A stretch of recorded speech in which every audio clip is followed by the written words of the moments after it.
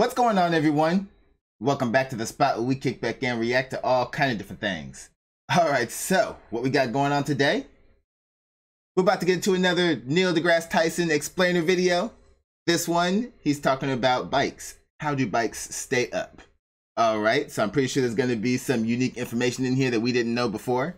Let's go ahead and check it out. See what information he's got for us today. Let's go. Gary, you mentioned something about motorcycles the other day. What was your issue? Yeah, um, why motorcycles can stand up? Uh, they're they're transformers. That's why. Next question. So when you say stand up, not after you put up the kickstand, you mean No. it can just roll on its own, Yeah. without anybody on it. In a Well, a person vertical can plane. s- stand on the seat while the thing is rolling. Mm-hmm. For example, I've seen that. right? Yeah, the display Okay. bike teams, they're fantastic. Yeah. Yeah. So, I for the longest while, and I count myself among those who would give I was looking at that like, man, one little slip up. Oh man, it's all over. I was, I'd be like, I'd be too scared to even try it. I feel like it's gonna hit something, fall over. I'm gonna eat gravel. Mm-mm. the answer that you have spinning wheels that are basically gyroscopes and that they gyroscopically stabilize the motorcycle. By the way, the same would apply to bicycles, of course. Right. Yes. Because, in fact, there was a famous scene in famous because of people talked about it. I thought it was clear and present, but I didn't realize how many people didn't know that if you set a bicycle moving down a hill That's with nobody on it, Yep. it'll just keep rolling It'll keep Like, going Mhm. until For it a hits long- something. Until it hits something for Yep. a long time, longer than you would expect, and that was Mm. revealed in the movie Butch Cassidy and the Sundance Kid. Yeah. Yes. In one of the in one of the romantic scenes with Robert Redford and Katharine Ross, I think it was. Mhm. Mhm. Um, that's It where they played also it was also revealed in my driveway as a kid, and I got into a hell of a lot of trouble because boy, do you know how much that bike cost? I cannot believe that you were throwing that bike down. That's what you see. You run and you just let the bike go, and then we Yeah. it's a, then it becomes a ghost bike. yeah, And- yeah, yeah, yeah, yeah. Yeah. So, so that was a common explanation, and I, I've even given Oh, that's something I can see Chuck doing. That's funny. Given that explanation. But I recently read All that right. someone did an experiment where they added wheels that spin the opposite way of the wheels. They're not connected to the ground or anything, but they spin in the opposite direction, which Uh-huh. cancels out the physical angular momentum of the of the rotating wheel. So the whole system no longer has a net gyroscopic force operating on it, Interesting. and it's and it's still stayed up.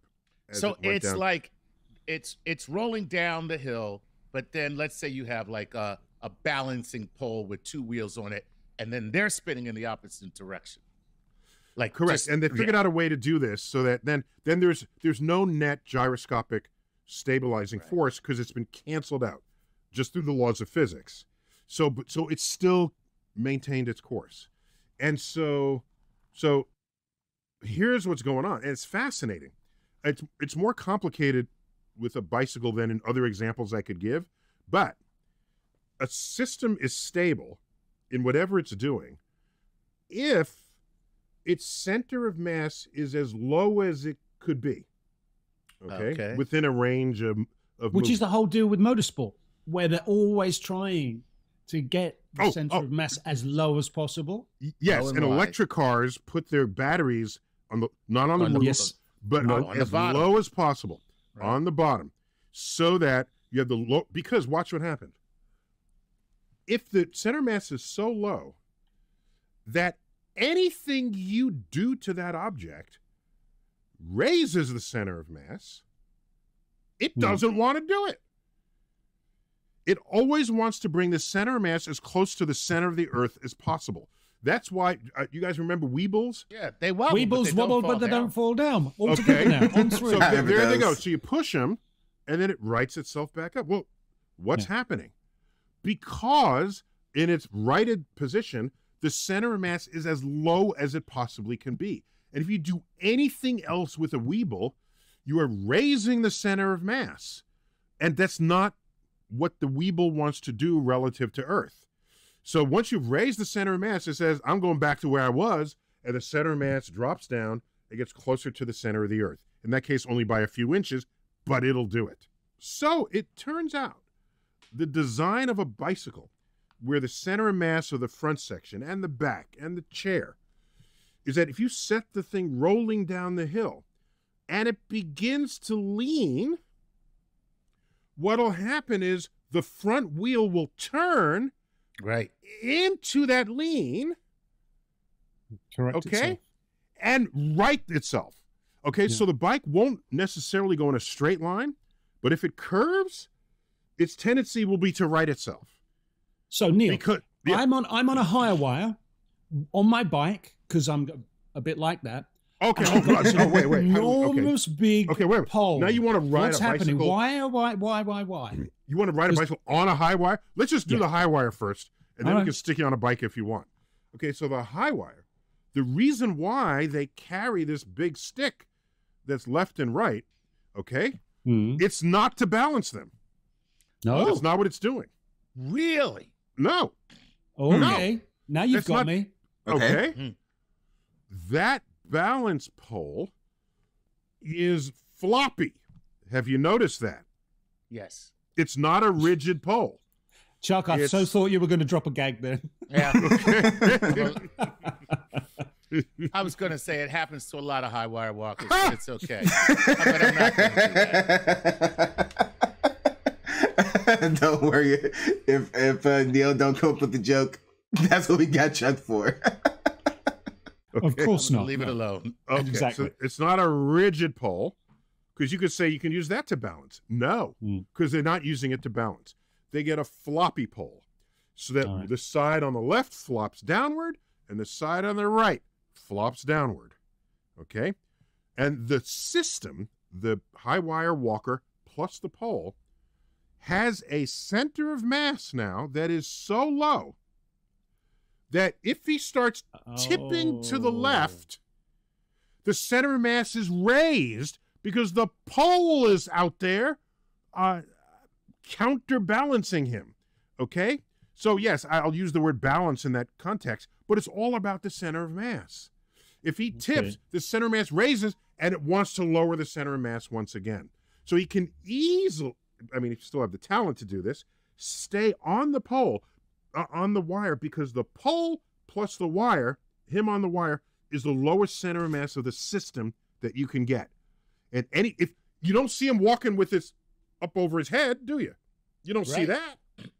Okay. It's always He's holding it down yeah, it's- low. It's always held pretty low, right down by the Mm, waist. Yeah. right by the waistline. So Gary, now you want to have Yeah. the high wire act on a motorcycle. Okay. Now bike. So- Let's not go too mad. so there's probably some kind of groove in the tire for it to stay on the wire. Well, you may take otherwise- the tire off and use the rim. Oh, that would work. Oh, Oh, for sure, because yeah. the rim is conca- concave, Yeah. right? So that that's an interesting way to make that work. But um, if you are up above the wire relative to the tires, you'd want the the floppy uh, um, stick. You'd want that to go even wider out to the sides and be even more droopy, and that would give you tremendous stability in doing this exercise. So Gary, I don't know, did I go where I had to go in that answer for you? I think you did. Yeah. I mean, just thinking about what it I find that pretty interesting. I never, yeah, of course, never knew about that and everything. It's less about balancing yourself, more about creating a low center of gravity, low enough to where physics itself are, is helping keeping you balanced. Interesting. I wonder if the increased weight is also helping for the wires as well. You know, you figure if you're too light, you'll just like fly off the thing, right? So I wonder if that's the the, the additional weight is also playing a factor. it worked then for electric motorbikes because there's no engine and generally the engine is the lower part of the whole thing Oh, so oh, you mean how oh. would that then uh, would that then work in the same way Because I've seen motorbikes where the the batteries go up one of the Yeah, I was going to say the of the- difference is that the the the the the weight of an engine on a bike is pretty evenly distributed, so that you, it makes the bike balanced to Hmm. ride. So once you just I mean, it's the between the rear wheel and uh, where your feet go. and where it's your not feet up go. in the not in the front wheel, right? right. No, that's right. Yeah, So that's normally the way they position engines. But for a battery, you can see it like they sit like right under the front fork sometimes, and then sometimes at the bottom of the bike. So it's interesting. I don't, but I'm. So I I, don't- I'd have to conclude, Gary, that Yes. if they're putting batteries up the down the down tube and uh, up Mhm. the tubes, Yeah. then that's changing where the center mass of the of the system is, and it can only be less stable for that reason. Yes. yeah.